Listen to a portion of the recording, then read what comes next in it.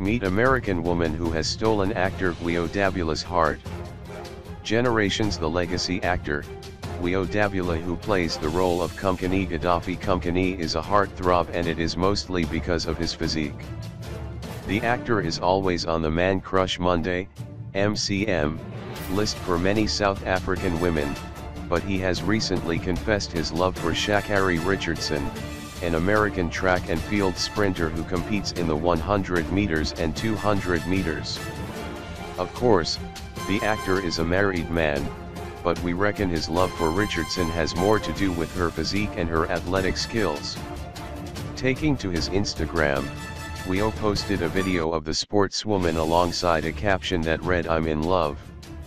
In 2019, Richardson rose to fame as a first year at Louisiana State University, running 10.75 seconds to break the 100m record at the National Collegiate Athletic Association, NCAA, championships.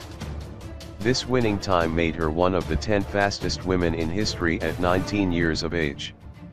Just two years later, Richardson ran a new personal best of 10.72 seconds, becoming the sixth fastest woman of all time and the fourth fastest American woman in history.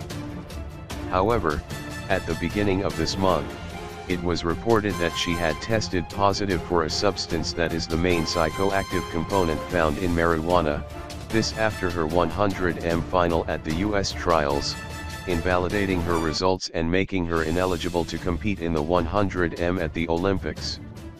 After successfully completing a counseling program, she accepted a one-month period of ineligibility that began on June 28, 2021.